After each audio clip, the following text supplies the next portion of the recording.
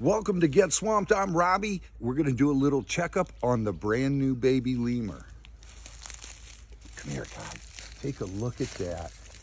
Look how big that thing has gotten already.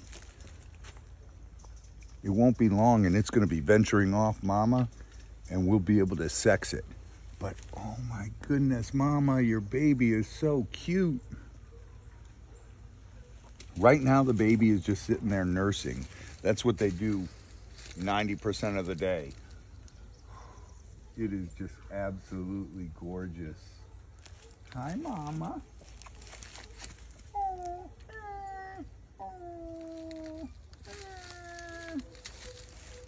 she keeps looking over at me and checking that out. Guys, thanks for watching. Get swamped, share your passion, and random acts of kindness. They go a long way. See ya.